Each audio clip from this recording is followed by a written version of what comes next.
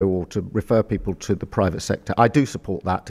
I want to pay tribute to Jeremy Corbyn, who led our party through some really difficult times, who energised our movement, and who's a friend as well as a colleague. What's your personal relationship towards him, Sir Oh, I haven't spoken to Jeremy Corbyn for two and a half years now. So Is he a friend? Was he a friend? No, I mean, I, as I say, I haven't spoken to him for two and a half years.